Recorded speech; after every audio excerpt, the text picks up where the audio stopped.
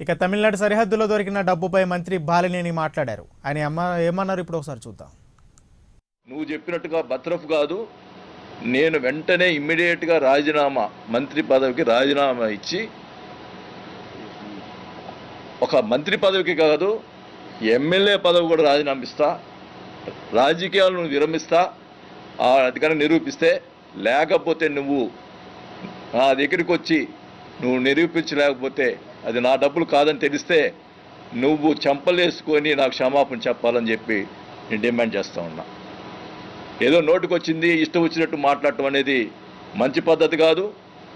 నా క్యారెక్టర్ గురించి మరి ప్రజలు ఒంగోలు ప్ర- అందరికీ తెలుసు. మీ తెలుగుదేశం వాళ్ళని అడగండి నా క్యారెక్టర్ గురించి తెలుస్తుందని కూడా తెలియజేసుకుంటాను మరి ఆయన నారా లోకేష్ గారు ట్విట్టర్ పెట్ పెడతాడు ఆయన.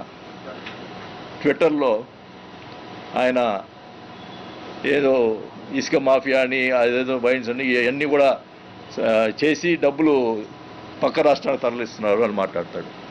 అసలుకి నీవు నా మాట్లాడే అర్హత ఉందా అని అడుగుతా ఉన్నా. నువ్వు ప్రజల నుంచి చేదరించి ప్రజల నుంచి ప్రజలు నిన్ను తిరస్కరించినటువంటి రాజకీయ నాయకుడు నువ్వు. ఇంత మటుకి ఒక్కసారి ఎమ్మెల్యే కాలేదు నువ్వు. మేము ఐదు సార్లు ఎమ్మెల్యే అయ్యా. నువ్వు నా గురించి మాట్లాడే అర్హత నీకు లేదు. నువ్వు ఎమ్మెల్సీగా దొడ్డిదారిని వచ్చి వేల కోట్లు సంపాదించి వేల వేల కోట్లు కట్టి నువ్వు కూడా మాట్లాడతావని అడుగుతా ఉన్నా ఈ లోకేష్ని. వాళ్ళకి తోడు వాళ్ళకు సంబంధించినటువంటి ఈ సోషల్ మీడియా సంబంధించిన ఆయన పే- ఫేస్బుక్ కానీ ఇవన్నీ కూడా నా మీద గురించి కామెంట్ చేసేది చే- చేసేది చేస్తూ ఉన్నారు.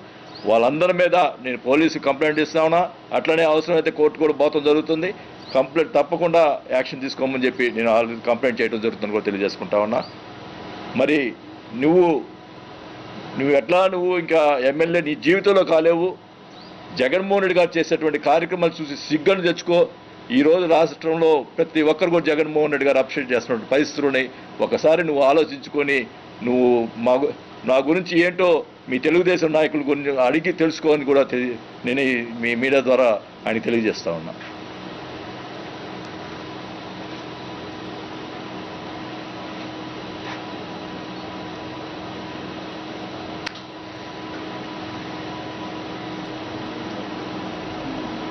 ఓకే. అంటే ఇది ఆ ఎమ్మెల్యేగా అంటూ ఇంకో స్టిక్కర్ మీది కాదు ఇంకో ఎమ్మెల్యే. ఆ ఎమ్మెల్యే కూడా మీ పార్టీకి సంబంధించిన ఎమ్మెల్యే స్టిక్కర్ కాదు. అది కూడా నేను చెప్తున్నా. పార్టీ ఎమ్మెల్యే కూడా కంప్లైంట్ ఇచ్చాడు. ఆ స్టిక్కరు నేను ఇచ్చింది కాదు అది ఫేక్స్ అంటే ఈ జెరాక్స్ ఎక్కడో సంపాదిస్తారు కదా ఎవరో జెరాక్స్ సంపాదించి చెప్పినటువంటి స్టిక్కర్ అని చెప్పి ఎమ్మెల్యే కూడా ఇవ్వటం జరిగింది.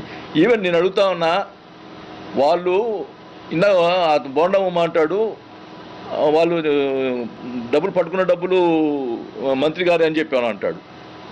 ఎవరైతే ఆ వ్యాపారం బంగారు వ్యాపారం చేస్తున్నాడో ఆ నల్లమల్లి బాలు అని అతని స్టేట్మెంట్ ఇచ్చాడు. ఈ నా డబ్బులు మా వ్యాపారం అని చెప్పి స్టేట్మెంట్ ఇస్తే నువ్వు వేరే రకంగా ఎట్లా మాట్లాడతావు?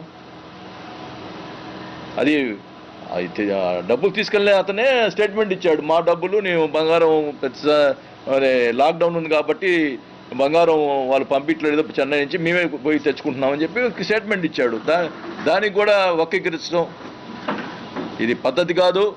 చెప్తున్నా ఈ తెలుగుదేశం నాయకులకి. నేను నేను చాలా తరచుగా తక్కువగా మాట్లాడుతున్నా. మరి గతంలో కూడా మంత్రిగా చేశాను. ఎప్పుడు కూడా మ- మచ్చ అనేది లేదు నాకు. నువ్వు అనవసరమైన మాట మాట్లాడితే మంచి పద్ధతి కాదు. ప్రజలు ఒకసారి తెలుసుకోండి ఒంగోలు నియోజకవర్గం వచ్చి తెలుసుకోండి నా గురించి నా క్యారెక్టర్ గురించి. అది అనవసరంగా మాట్లాడదు మాట్లాడొద్దని కూడా తెలియజేసుకుంటాను